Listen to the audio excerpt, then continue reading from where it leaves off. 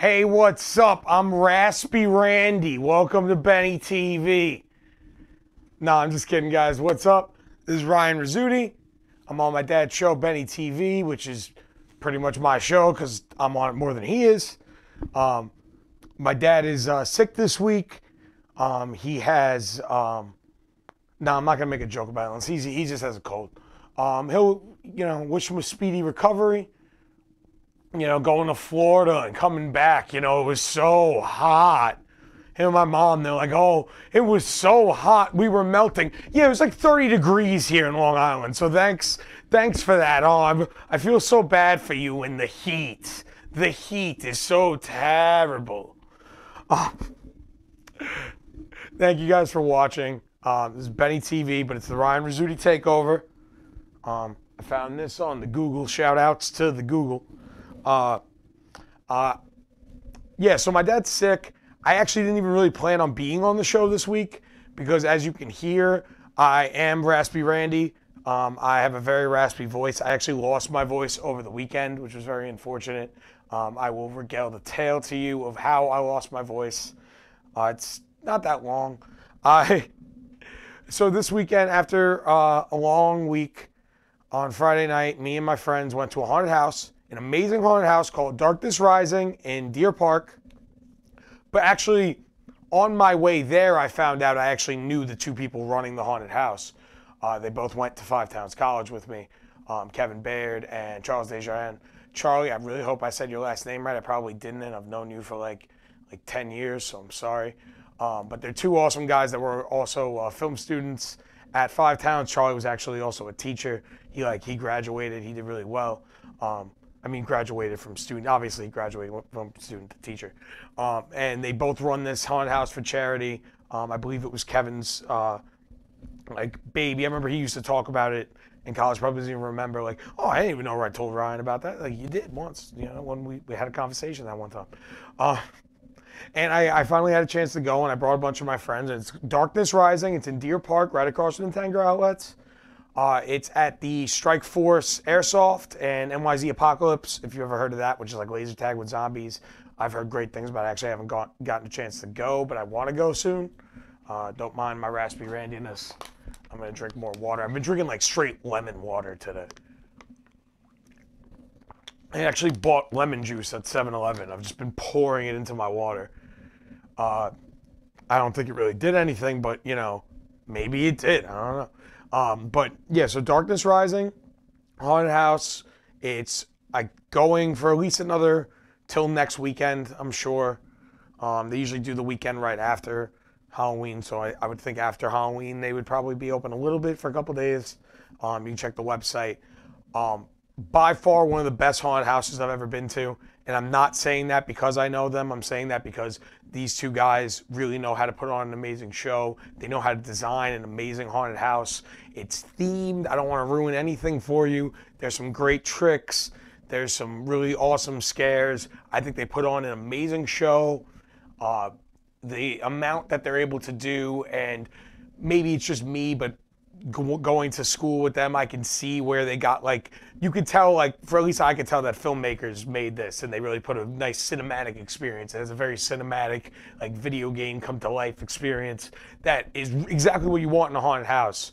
And I it's an amazing haunted house. It's like something that you'd want to go to like Universal or something to go to. It's I can't recommend it enough. Darkness Rising in Deer Park. I highly recommend the haunted house. It's uh it's really great. I highly recommend it. Um, I went to the haunted house. I got super spooked, super scared, and that was my plan because right after me and my friends went to go see the new Halloween, the 2018 Halloween. So we went see Halloween. I'm super spooked. Like my my hair was standing, all my hair was standing. I was like freaking out. I thought I saw a ghost. It's fucking amazing. Sorry for the language. This is a this is an adult. This is for children too. This is a family show.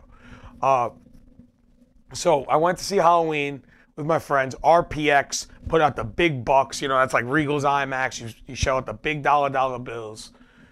20 minutes into the movie, somebody pulled the fire alarm. The entire theater got evacuated. Every single screen, every single theater got evacuated. So I was not drunk. I was sober as a ghost, but I felt like I saw a ghost because I was really spooked and I was super hyped up to get scared even more because I just went to a haunted house. Now I'm seeing Halloween.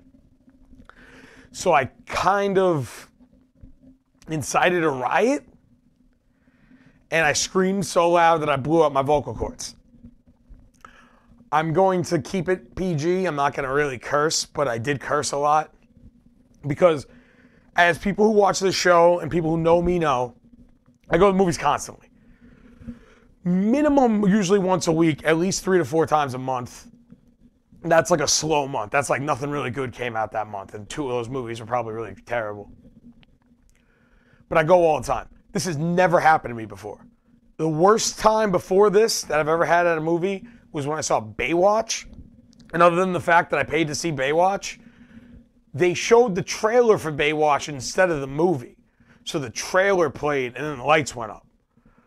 But somebody wa- walked in to check the theater and we were like, hey, what are you doing? You know, that's the trailer. We want, we paid money to see the real movie. If I want to see the trailer, have went on YouTube so they fixed that right away. So I never had anything this bad where I actually had to leave the theater in the middle of the movie.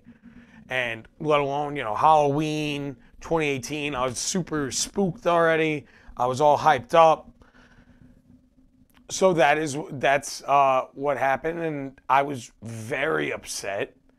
And I was saying, "F Regal." This did happen at a Regal movie theater. This, I was like, "This wouldn't have happened if I went to AMC." Uh, you ain't shit, Regal. I think I said a couple times. Uh, what else did I say? I said, uh, oh, you ain't got your own movie pass. AMC got movie pass. You ain't got shit. Um, and then I said, you ain't shit. Um, then I started turning it into the Red Sox and the Yankees. And I guess, you know, I have some, un, you know, I hate the Red Sox. I'm a Yankee fan. You know, this here's my Yankee tattoo with the Italian flag colors. If you don't like it, you know, you can go live in a dumpster somewhere. I don't really care. So I started being like some Red Sox fan, fan pulled the fire alarm. I'm trying to watch Halloween after Red Sox. Red Sox suck. This wouldn't have happened if Joe Girardi was still managing the Yankees. F you, Aaron Boone, you're a trash bag. I've been saying all week that Aaron Boone is a trash bag and a garbage man. I've never liked Aaron Boone. It's not like, oh, you're, you're a sore loser. You guys got 100 wins and Aaron Boone's a good manager. Aaron Boone got a lucky hit in 2003 and has been coasting off that for 15 years. And I, I feel like I'm taking crazy pills because I'm the only person that sees that. He was a commentator on ESPN, and it was so bad nobody was watching ESPN baseball games. And then they go, "Oh, let's let this guy manage a baseball franchise." No, it's nonsense. It's nonsense. WWE wouldn't have written something that silly, and they made Eugene. Don't get me started on Aaron Boone. So I, I had a sweatshirt. I was picking up, throwing it down, picking it up, and I blew up my vocal cords. Somebody, I was actually like, I was getting chants going, and people were behind me. There was a lot of people who were all upset a security guard actually nicely came over to me and told me to calm down. I did. I like I snapped right out of it because I was sober. So like the second someone told me to stop, I stopped. And by that time my voice was already gone. Um, so that is the story of how I lost my voice this week was screaming at the top of my lungs outside of a Regal Cinemas because 20 minutes into Halloween somebody pulled the fire alarm. And Aaron Boone is a trash bag and it doesn't have to do with him not winning the World Series. It has to do with the fact that he had a lucky hit 15 years ago, and Aaron Boone sucks. You know, like, hey, people don't like A Rod, right? We wouldn't have A Rod if it wasn't for freaking Aaron Boone, because Aaron Boone goes, Oh, I don't care that I'm a big Major League Baseball player, make millions of dollars. I'm going to go play basketball in the offseason and tear my leg open or however he injured himself and then he voided his contract, and we needed a third baseman, and that's why we traded for A Rod. Nobody thinks about that. I'm just over here. This is just the facts. Like, this is like Alex Jones if he made sense. They're not turning the frogs gay in the water, but Aaron Boone is a trash bag. I also want to say I, I don't like Alex Jones. That was a joke. I don't want anybody to be like, oh, Ryan's pro Alex Jones. That guy's a trash bag, too.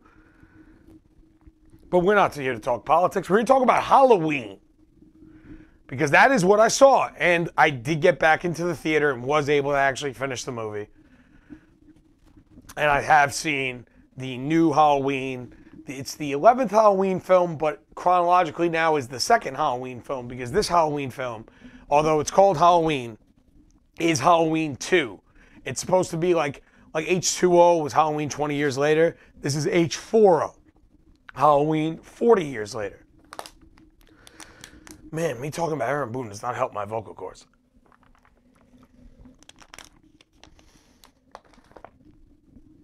You can really tell how much I hate Aaron Boone. You my, my friend Kyle was with me when they announced that he was the manager, and I was just sitting in a room with him, screaming at my phone for like 10 minutes straight, like cursing. My face was like redder than it usually is. Like it looked like my like I was like a pimple about to explode. I hate Aaron Boone. I, I didn't like him as a player.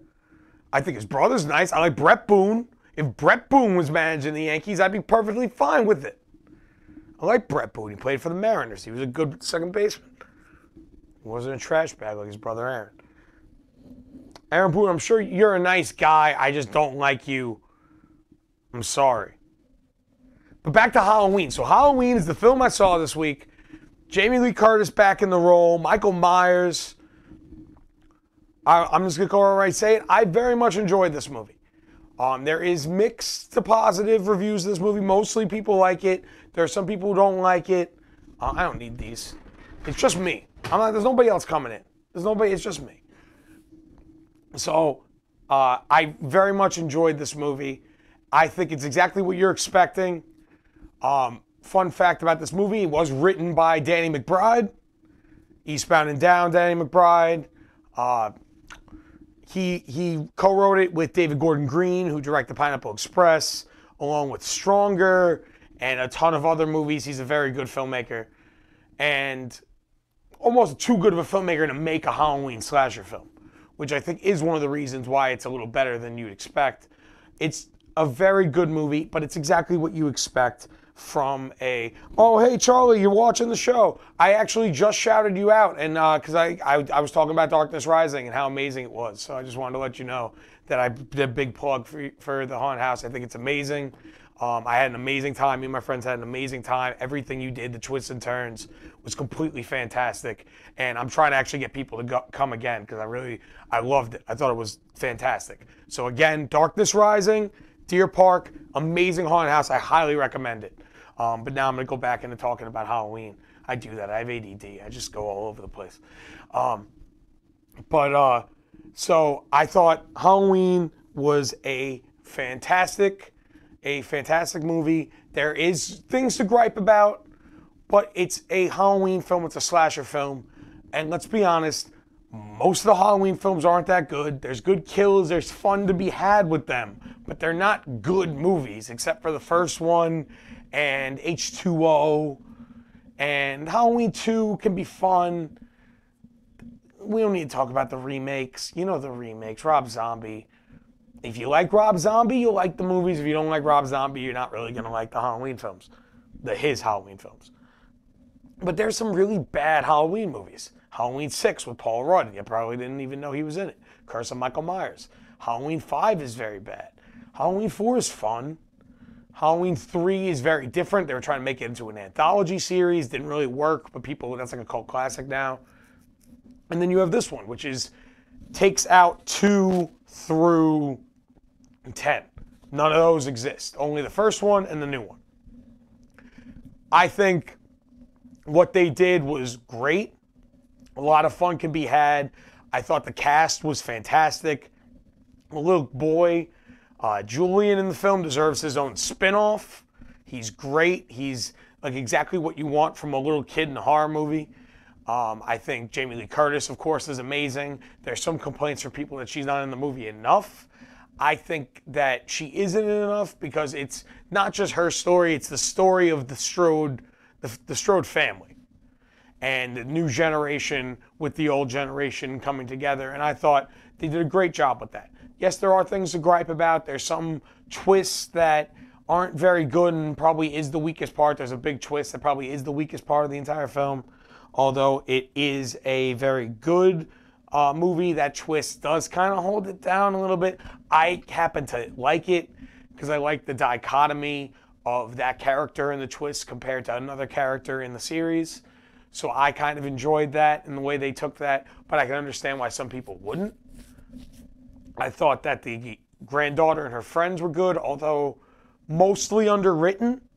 I would say that they did very good of of being a little bit more than a typical slasher character, in my opinion. Uh, Tim Robbins and Susan Sarandon's son, I forget his name, but I'm pretty sure his last name is Robbins.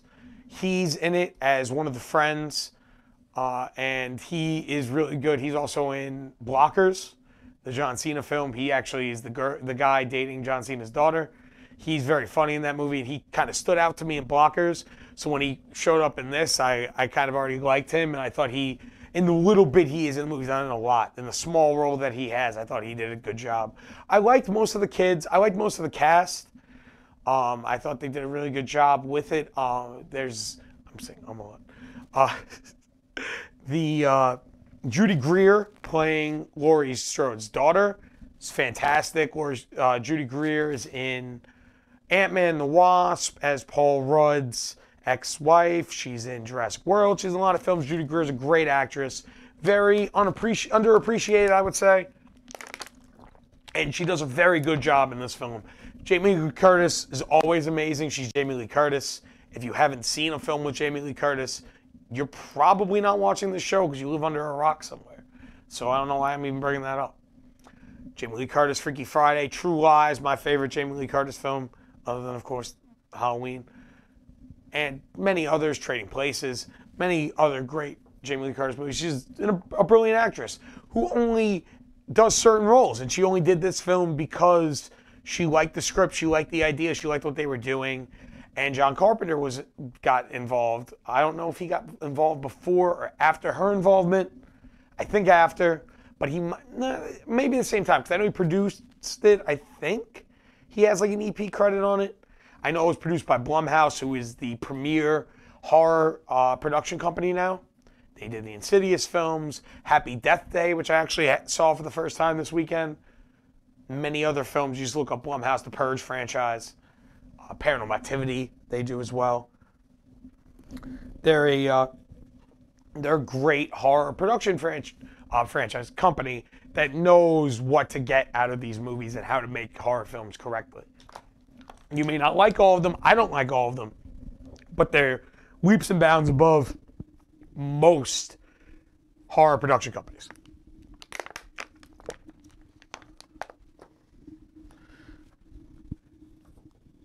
Also, I would say that the music is some of my favorite score, one of my favorite scores this year. It's done by John Carpenter, the director of the original franchise, who did the score of the original.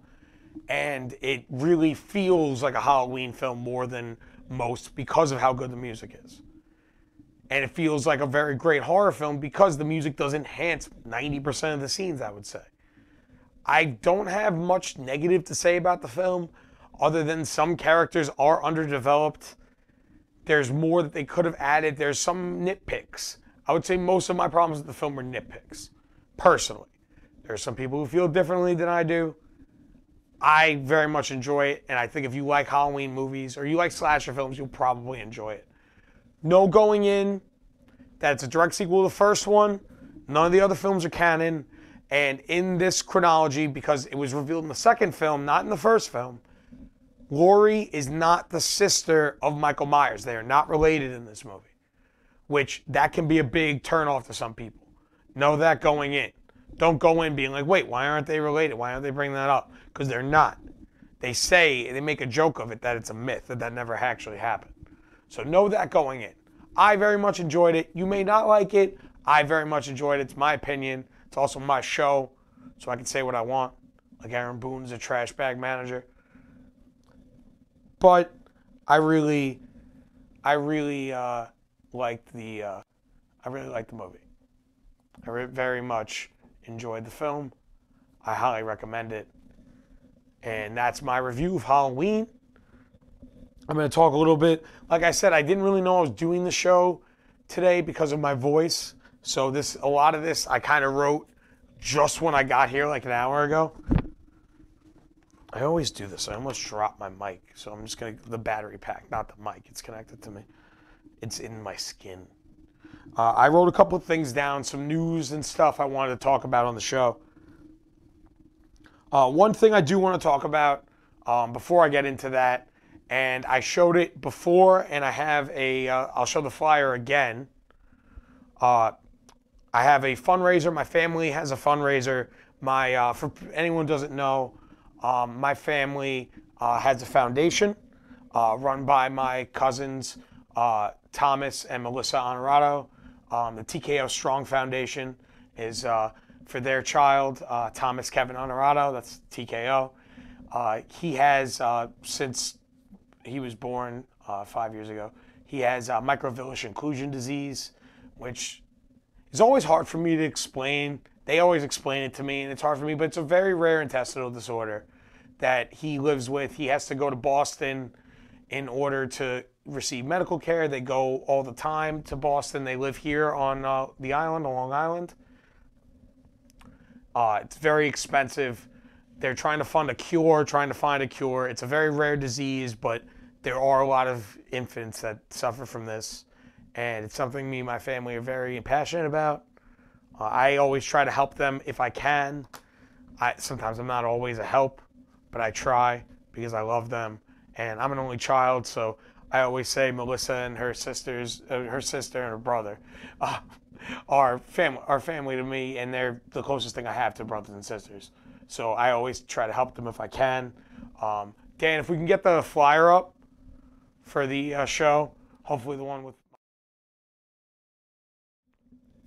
This is the fundraiser. It's this weekend at Black Douche. Uh, I might say that wrong. Who knows? Uh, Beer Garden in Franklin Square. It's from 2 p.m. to probably sundown, roughly.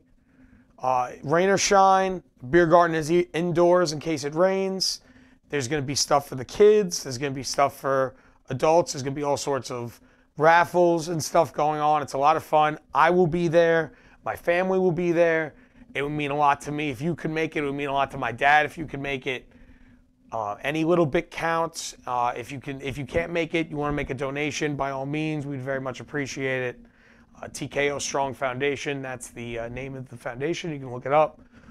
We're a proper foundation. We have all the proper things to be a amazing, amazing foundation, and I really hope you guys can make it out. You can come back to me. Uh, we showed that a lot. I wanted to get it, that out as much as I possibly could. So if if you can if you can make it this weekend to Franklin Square to come to the uh, fundraiser, it would be amazing. I'd really appreciate it. I'll see you there. Thank you guys in advance. Now I'll talk about the rest of the stuff. I just really wanted to talk about that. I meant to talk about it last week, but if you watched the show last week, I was kind of under the weather, and I took Benadryl without realizing that it was like would make me very drowsy. And I was like halfway through the show, you could see me like like uh so I didn't have a chance. I just was like, I got to get off. I got to get out of there as quick as I could. So I didn't actually get a chance to uh, bring that up. So I wanted to. It's this Saturday. It's this Saturday, 2 o'clock, Franklin Square, Plachush uh, Beer Garden. Please come if you can. Really appreciate it. I'm strain I'm straining to say this to you with my raspy voice because I am the crypt keeper. I just really wanted to do that. So, yeah, I really appreciate it if you guys could make it. Thank you so much. Now, I'll just go right into the next topic. So, uh, Daredevil season three came out this week. I only got to see the first three episodes. It's amazing. I love it. From what I'm told, it only gets better with each episode. It's a little bit of a slow burn to get started, but everyone that I know, that I know people that have watched most of the season already, and they're in love with it. They say it's on par with season one. I personally love season two. I love most of the Marvel shows. Two got canceled this week, and I'll, I'll talk about that too. But I want to say that Daredevil season three so far is really great, and I think if you like Daredevil, you're gonna really like this season. It's really great so far. What they're doing with Bullseye and Kingpin is great. Vincent D'Onofrio is a powerhouse who deserves an Emmy for this show for playing the Kingpin. He's so good. He's one of the best comic book villains. He is the Kingpin. He's more the Kingpin than the animated Kingpin in the Spider-Man show when I was a kid. And those are like godlike.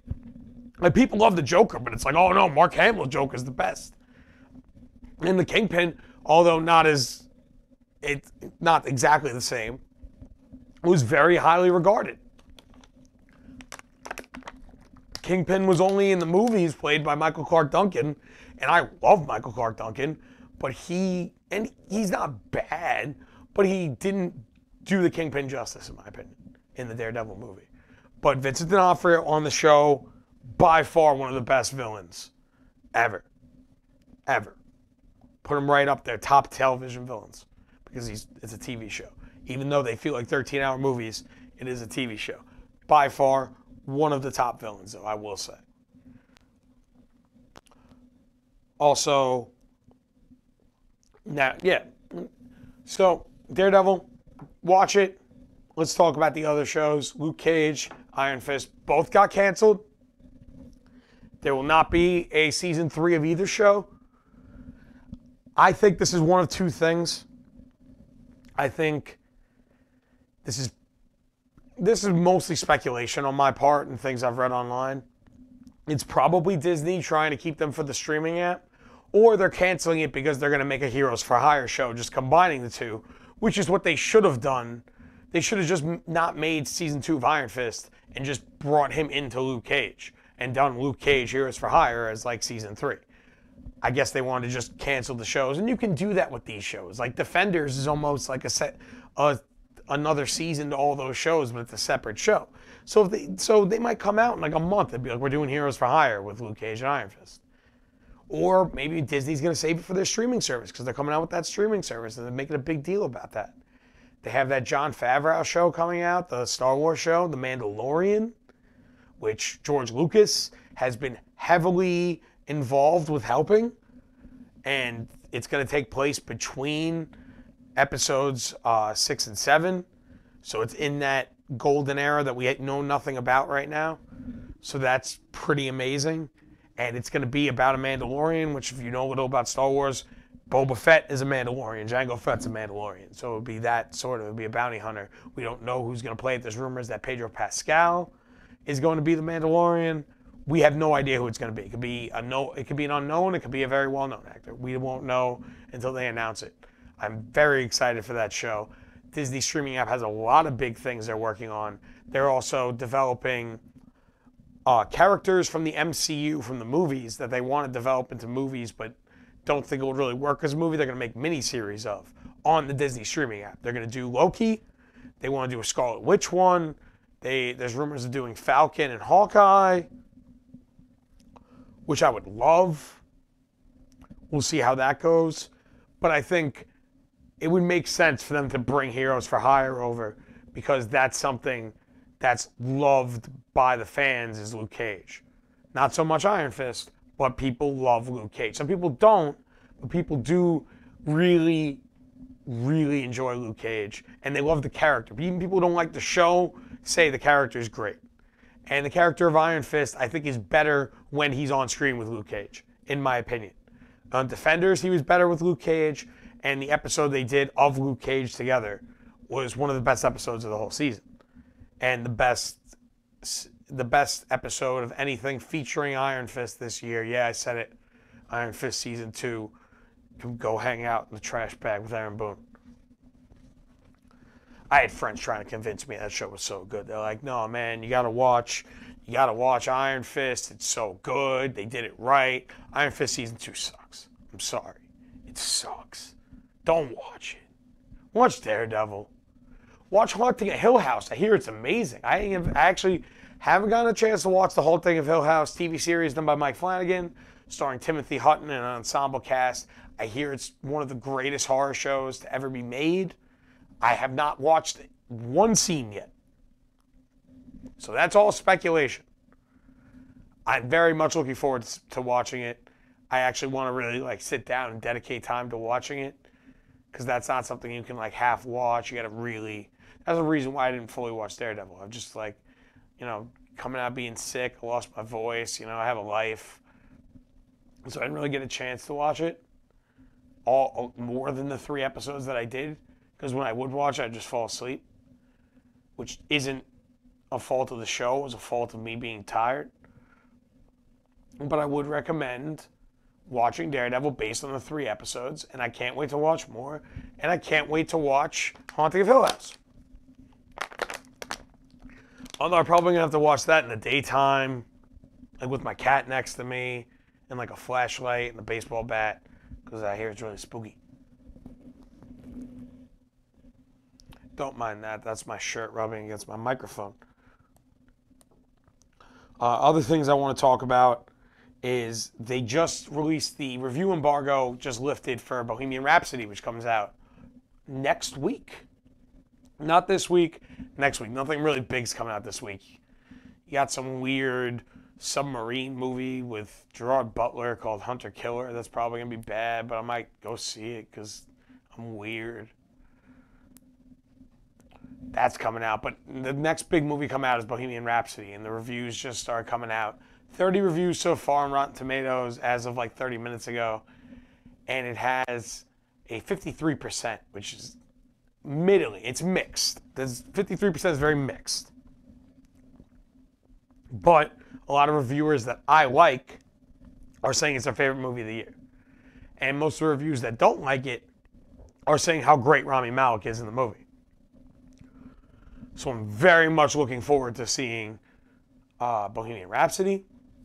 One thing that I did see from a lot of reviews, even people who did like the movie, is saying Mike Myers is terrible in the movie.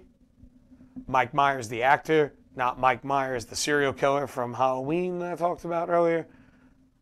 Big big things happen in Mike Myers this year. Mike My- this is the year of Mike Myers, 2018. But one reviewer that I like compared him to the Love Guru, which is bad. If you haven't seen Love Guru, watch it. And then come back to me. So you can throw water at me and yell at me about why why'd you make me watch that terrible, terrible movie, The Love Guru? And I'll be like, heh, you watched The Love Guru. Ha. That's all I have to say about The Love Guru. So I don't have that much left to talk about. Like I said, the show was kind of put together a little haphazardly this week. If anybody has anything they want me to talk about, you know, we're alive and well in the chat. Again, this is broadcast in Strong Island Television Paradise Studios, Massapequa, New York.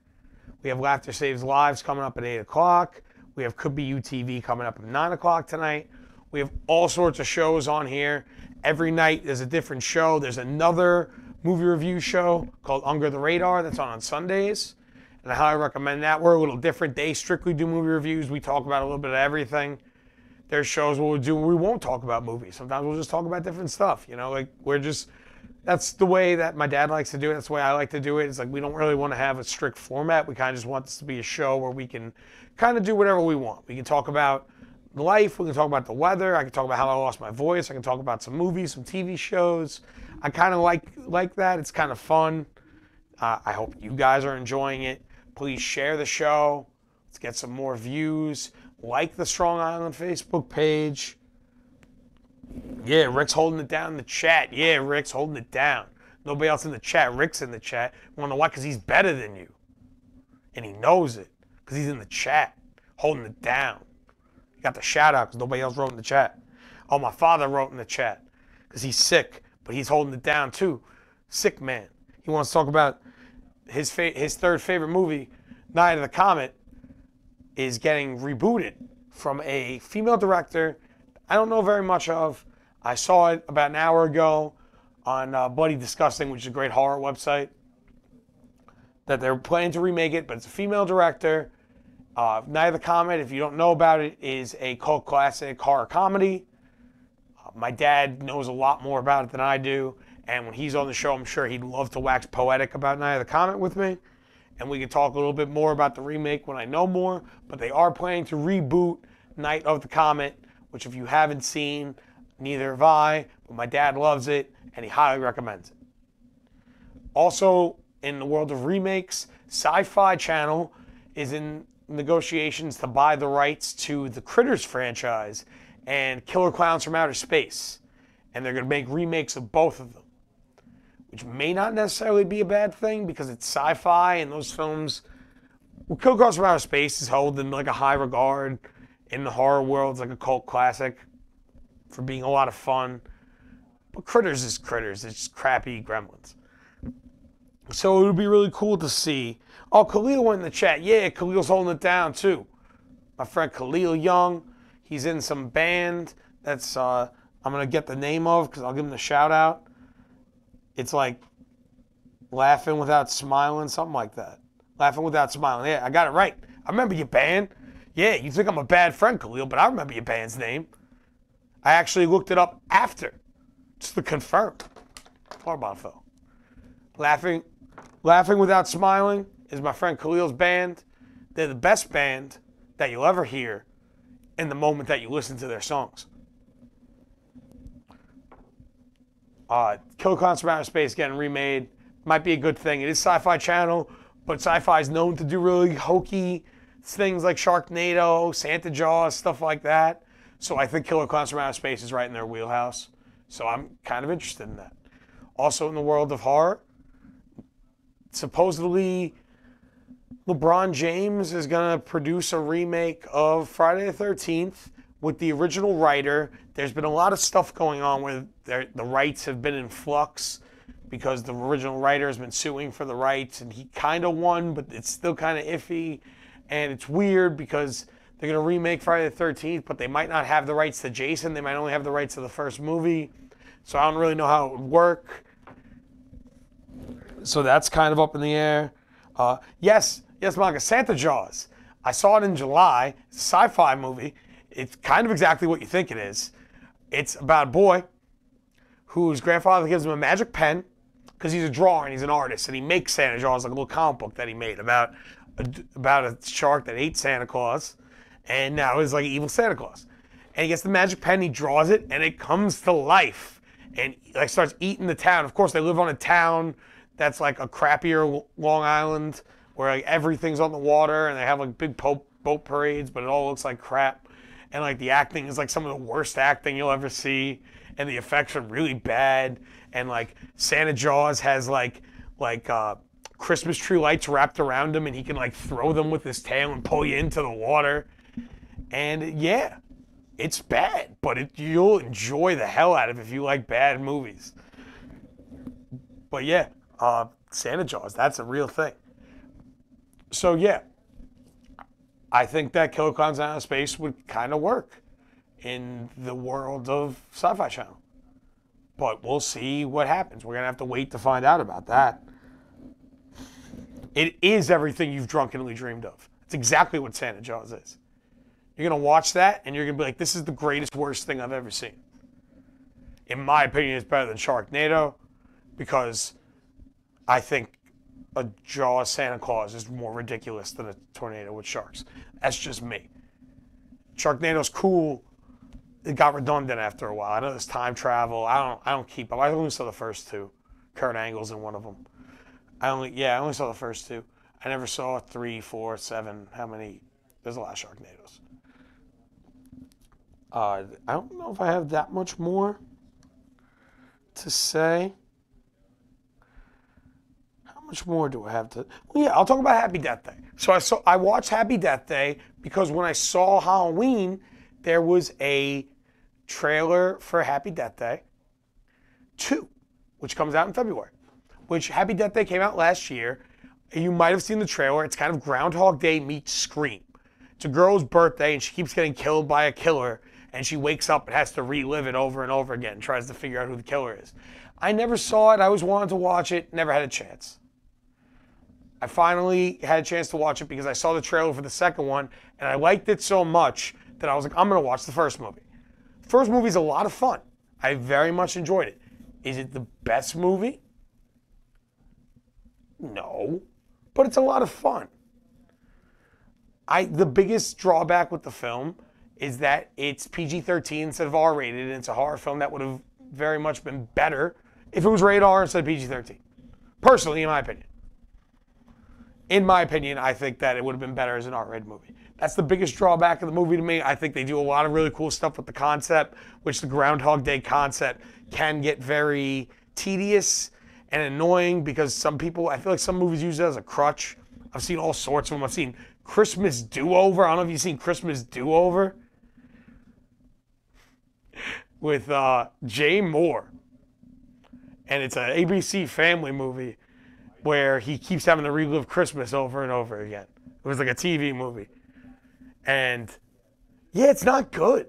But that's what I always think of when I think of bad Groundhog Day movies, even though I've seen that movie a lot. And this isn't one of those. I think they did a lot of interesting stuff with the concept. I think adding the scream element did help a lot. And I would recommend Happy Death Day. And I think the trailer for the second one, which I don't know if it's online yet. When I tried to look for it online, I couldn't find it, but they did show it before Halloween. I think it looks great. I'm very much looking forward to it. Let's see if anything else going on in the chat.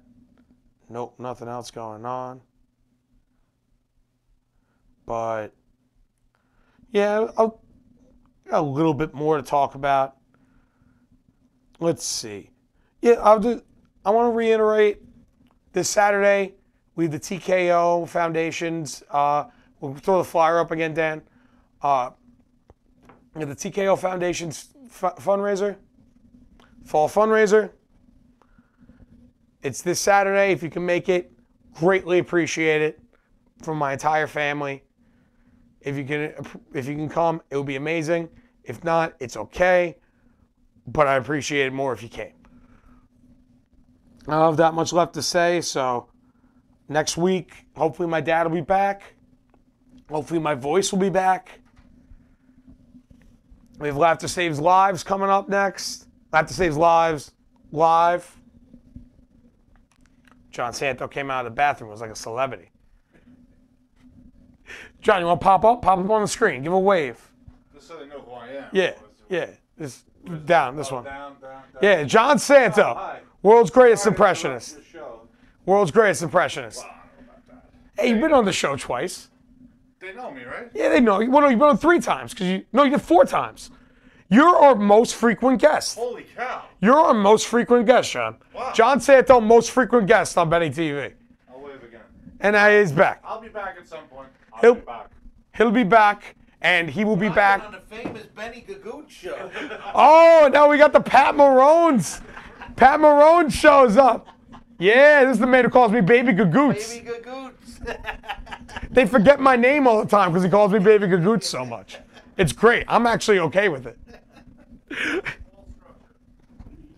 so they have Laughter Saves Lives live coming up at 8 o'clock. Gotta watch it. It's gonna be a great show. Could be UTV on at 9 o'clock. I'm gonna be behind the scenes of all of it. Stay tuned. That's the show tonight, guys. I really hope you you liked it. Uh, I kind of was coming up with everything on the fly, so I hope it was pretty good. I hope people who were watching for the first time really enjoyed it. Have a great night. Hey.